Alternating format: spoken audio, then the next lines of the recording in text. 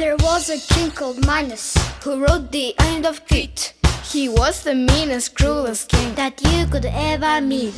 Minos had a pet monster, a man with the head of a bull. This monster liked to eat people. He was not really cool. This monster had a name, was known as the Minotaur. It had sharp teeth that could bite you, the pointy horns that could gore. The monster lived in the labyrinth, a maze of corridors.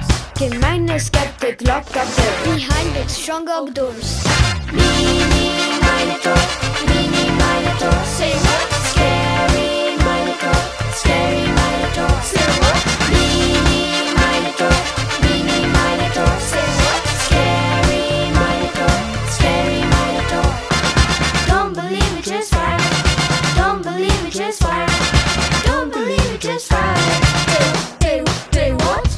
Every now and then the king would give the beast a treat. He put some people in the maze for the monster to eat. One day a hero Theseus, a very brave young man, decided to end the killings and came up with a plan. He offered to be sacrificed to the monster with a bull's head, but he did not plan to be killed. His plan was to kill it instead. Minos' daughter, the princess, thought that Theseus was cool. To help him succeed on his quest, she gave him a ball of wool. Minus funky up. minus funky up. Say what? Minus funky up. minus funky up.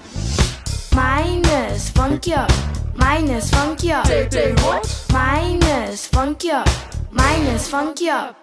Told him let that the wall behind himself as he explored. That way he'll find his way back out. She also gave him a sword. Theseus find the Minotaur? It gave a terrible bellow.